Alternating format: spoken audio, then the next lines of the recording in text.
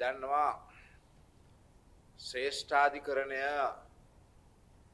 තාම වැදගත් තීන්දුවක් ප්‍රකාශයට පත් කරා ඒ තමයි VFS ගණුදනුව පිළිබඳව. මේ VFS ගිවසුම මේ හොර ගිවසුම මේ ඉතිහාසයේ එතෙක් මෙතෙක් වූ මහා මගඩිය එමනැත්තං මහබැංකුව මහදවල් කඩලා කරා වගේ තිස්සය ගුණයක් විශාල මගඩිය ශ්‍රේෂ්ඨාධිකරණය විසින් අත්හිටෝල තියෙන. ඒ සම්බන්ධව අපි ශ්‍රේෂ්ඨාධිකරණයට අපේ ගෞරවය ස්තුතිය බුද කරන්න ඕන රටේ පුරවැසියෝ සියලු දෙනාම ඒ ගෞරවය ස්තුතිය ශ්‍රේෂ්ඨාධිකරණයට බුද කරන්න ඕන. අපිත් සතුට වෙනවා මේ VFS ගනුදනුව පිළිබඳව මුලින්ම පාර්ලිමේන්තුවේ කතා කරේ සජිත් ප්‍රේමදාස මැතිතුමත් එතුමාගේ කණ්ඩායමේ පාර්ලිමේන්තු මන්ත්‍රීවරුත් තම. අපි කතා කරලා ඉතරක් නතර වුණේ නෑ අපේ සන්ධාන මන්ත්‍රීවරු අපේ පක්ෂ මන්ත්‍රීවරු අධිකරණයට ගිය.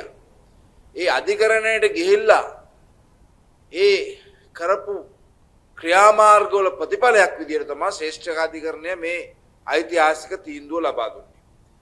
මේ VFS ගනුදෙනුවේ පාඩුව කෝටි හාරදහකට ආසන්නයි ගනම් බල්ල තියෙන විදිහට. ඒ කියන්නේ මහ බැංකු මංකොල්ලේ වගේ 36 ගුණයක් විශාලයි මේ VFS ගනුදෙනුවේ පාඩුව. මේ බැදුම් කර කල්ලිය අද රාජපක්ෂ කල්ලියේ සෙට් එකත් එක්ක එකතු වෙලා ජනාධිපතිවරයා තමන්ගේ ගෝලබාලයොත් මේවා කරන්න ඉඩ දීලා මේ විශාල හොරකම සඳහා අවස්ථාව දීලා තියෙනවා. මං හිතන්නේ මුලින්ම ඇඩ්වාන්සුත් අරගන්න ඇති. අපිට පේනවා ජනාධිපතිවරණ මැතිවරණ ව්‍යාපාරයේ මේ විදිහට මං දන්නේ කෝටි ගාණක් වියදම් කරලා තියෙනවා රනිල් වික්‍රමසිංහ ජනාධිපති ධූර අපේක්ෂකයා. ස්වාධීන අපේක්ෂකයා. කෝටි ගාණක් වියදම් කරලා තියෙනවා. හැමදාම කොළඹ නගරේ එළියනකොට පෝස්ටරයක් තියෙනවා. ඒ වගේම සමාජ මාධ්‍ය, විද්‍යුත් මාධ්‍ය, මුද්‍රිත මාධ්‍යවල විශාල මුදලක් වියදම් කරනවා. කොළඹ නගරයේ නොඑක් ස්ථානවල තමන්ගේ මැතිවරණ ව්‍යාපාරයේ විශාල වශයෙන් මුදල් වියදම් කරලා කරනවා. ඇමරිකාවෙන් එක්සත් ජනපදයෙන් නොයෙක් රටවලින් ප්‍රචාරක ආයතන ප්‍රචාරක විශේෂඥයෝ ගෙරල්ල මැතිවරණ ව්‍යාපාරය සඳහා මුදල් වියදම් කරනවා. ඉතින් මේ මුදල් මේ VFS ගනුදෙනුවෙන් හම්බුණු අත්තිකාරම් මුදල් වලින්ද පාවිච්චි කරන්න කියන කාරණේ අපිට ඉස්මතු කරන්න ප්‍රශ්න කරන්න සිද්ධ වෙනවා. විශේෂයෙන්ම මේ සම්බන්ධව සජිත් ප්‍රේමදාස මැතිතුමා මුලින්ම ඒ හඬ නැගීමේ ප්‍රතිඵලයක් ඒ වගේම පාර්ලිමේන්තුව තුල සජිත් ප්‍රේමදාස මැතිතුමා සමග අපේ පාර්ලිමේන්තු කණ්ඩායම හඬ නැගීමේ ප්‍රතිඵලයක් ඒ වගේම කයිය ගහන්නේ ගහන්න නැතුව ක්‍රියාත්මක වෙලා හඬ විතරක් නගන්න නැතුව ක්‍රියාත්මක වෙලා අපේ පාර්ලිමේන්තු මන්ත්‍රීවරුන් කීප දෙනෙක් අපේ සන්ධාන මන්ත්‍රීවරුන් කීප දෙනෙක් අධිකරණයට යාමේ ප්‍රතිඵලයක් විදියට තමයි අද මේක අධිකරණය විසින් තහනම් කරලා තියෙන්නේ. ඒ නිසා මේක අපේ රටේ ජනතාවට තාම දැනිලා නැහැ. මේ මංකොල්ලේ සයිස් එක. ඒකයි මං කිව්වේ කෝටි 4000ක් මහ බැංකු මංකොල්ලේ වගේ 36 ගුණයක්. අපිට මතකයි එදා ඔය දැන් කෑ ගහන දැන් රනිල් වික්‍රමසිංහ මහත්තයාගේ ගුණ ගීන ගායනා කරන ආවතේ තේවකම් කරන ආවඩන අය මහ බැංකු බැදුම් කර මංකොල්ලය විකුණලා තමයි බලයට ආවේ. අද ඒගොල්ලෝ දෙගොල්ලොම එකතු වෙලා දැන්. ඒ දෙගොල්ලොම එකට එකතු වෙලා අද මේ මහා ජාවාරම මේ මහා මගඩිය ක්‍රියාත්මක කරන්න කටයුතු කරලා තියෙනවා. ඉතින් අපි වාසනාවකට අපිට පුළුවන් වුණා සජිත් ප්‍රේමදාස මැතිතුමාගේ සහ අපේ කණ්ඩායමේ සහ ඒකට දායක වුණු අයගේ ශක්තියත් ගොනු කරගෙන අද මේක නතර කරන්න. ඒ සම්බන්ධව නැවත නැවත නැවත වතාවක් අපි ශ්‍රේෂ්ඨාධිකරණයට අපේ ගෞරවය ආචාර්ය ඉදිරිපත් කරන්න කැමතියි. ඒ නිසා අපිට පේනවා මේ බංකොලොත් රටේ සංචාරක කර්මාන්තය ඔළුව උස්සගෙන එනකොට ඒ සංචාරක කර්මාන්තයටත් දැවන්ත මරුපහරක් එල්ල වෙන්න මේ වීසා මගඩිය හේතු වෙන්න තිබුණා.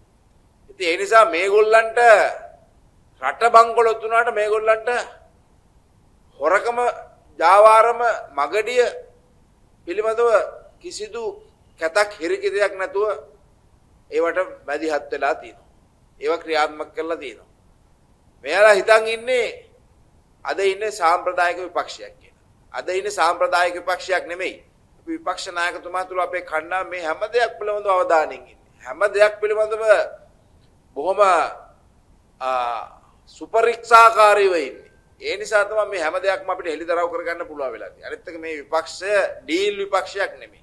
සජිත් ප්‍රේමදාස මහත්මයා කියන්නේ ඩීල් නැති විපක්ෂ නායකවරයෙක්. ඉස්සර විපක්ෂ නායකවරු විපක්ෂයේ ඉඳන් ආණ්ඩුවත් එක්ක ඩීල් ක්‍රියාත්මක කරා. හැබැයි සජිත් ප්‍රේමදාස මහත්මයා ගාව එහෙම ඩීල් නැහැ. හැබැයි සමහරුන්ගේ ඩීල් තියෙනවා. දැන් ඔය මහා ලොකුවට කයිය ගහන කයිය නායකලා. අපි අහනවා මේ VFS වීසා මගඩිය ගැන අධිකරණයට ගියාද? ගියේ නෑ. ඒව තමයි ඩීල්. පොලිස්පතිවරයා සම්බන්ධව ප්‍රශ්නේදී අධිකරණයට ගියාද ජනතා මිත්‍ර බරුණ? ගියේ නෑ. ඒව තමයි ඩීල්. ඒ නිසා රනිල් වික්‍රමසිංහලත් එක්ක ඩීල් තියෙන අනුර කුමාර දිසානායකලට ඡන්ද දෙන්න මිනිස්සෙක් හිටියානම් ඒ අයට අපි කියනවා ඩීල් කාරව පිටිපස්සේ යන්න එපා. එයාලට ඩීල් එකක් නැත්නම් මේ VFS ගනුදෙනුවේදී ඒගොල්ලන්ට අධිකරණයට යන්න තිබුණා පාර්ශවකරුවන් වෙන්න තිබුණා. කිසිදු කෙනෙක් ඒ අධිකරණ කටයුත්තදී මේ ශ්‍රේෂ්ඨ අධිකරණ අඩුවේදී ඒ දායකත්වය ඒ පක්ෂයෙන් ජනතා මිතුරට ලැබුණේ නැහැ. ඒ නිසා මෙයාලට තමයි ඩීල් තියෙන්නේ. ඒගොල්ලෝ තමයි මේ රනිල් වික්‍රමසිංහ මහත්තයා එයාගේ ගෝලුවොත් එක්ක හොරතල් වෙන්නේ.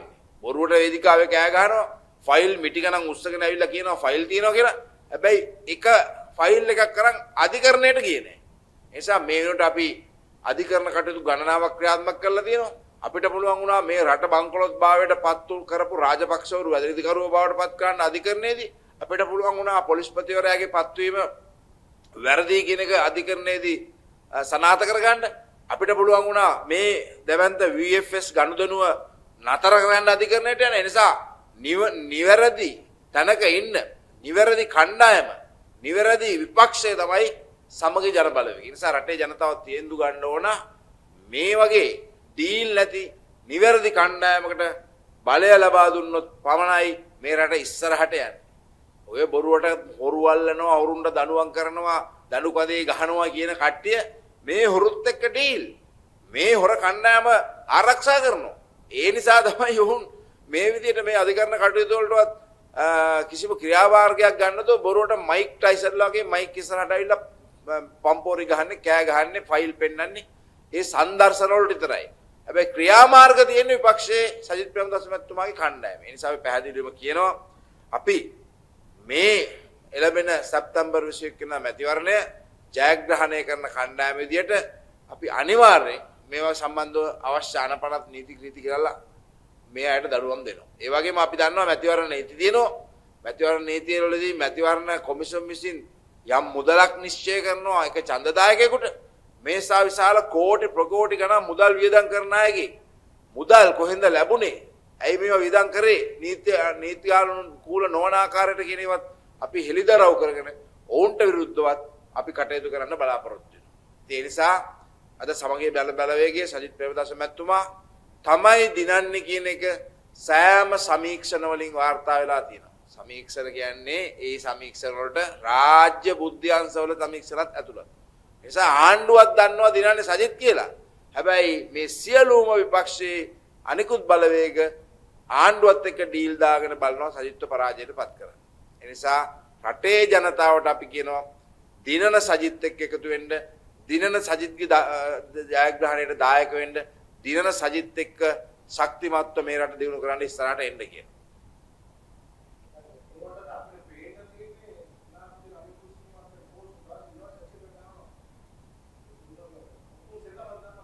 එතුමා හිතනවත් දන්නේ පෝස්ටරයක් කියන්නේ ඡන්දයක් කියලා. පෝස්ටරයක් කියන්නේ ඡන්දයක් නම් එතුමාට දිනන්න පුළුවන්. හැබැයි පෝස්ටරයක් කියන්නේ ඡන්දයක් නෙවෙයි. එතුමාලට ඕනතරම් පෝස්ටර් ගන්න සල්ලි තියෙනවා. ආණ්ඩුවේ ආයතන ආණ්ඩුවේ යාන වාහන ආණ්ඩුවේ හයිය ශක්තිය අරගෙන ඒ වගේම පොලිසිය හයිය ශක්තිය අරගෙන ඒගොල්ලෝ පෝස්ටර් ගහනවා ඇති. කෝටි ගණන් මුදල් තියෙනවා වංචා කරපුවා. හැබැයි මේ පෝස්ටර් වලින් දිරන්න බෑ මේ රටේ ජනතාවගේ හදවතේ සජිත් ප්‍රේමදාස මහත්මයාගේ පෝස්ටරේ ඇලවිලා ඉවරයි.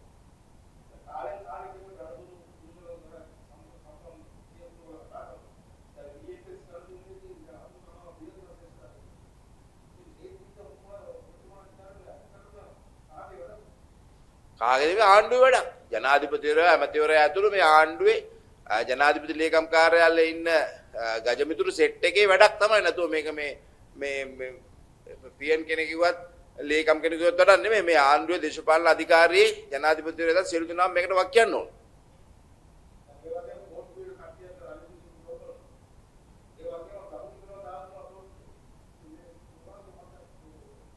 දැන් ආණ්ඩුවේ පාර්ශව තුනක් ඡන්ද ඉල්ලනවනේ. ජනාධිපතිවරයා ඉල්ලනවා. ඊළඟට පොහොට්ටුවේ ධම්මික පෙරේරා මහත්තයා හරි කවුරු හරි ඉල්ලනවා.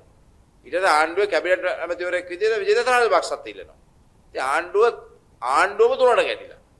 ඒ නිසා ඒගොල්ලන්ට ජයග්‍රහණය කරන්න බෑ. ඒක මිරුගුවක්. ඒක සිහිනයක්.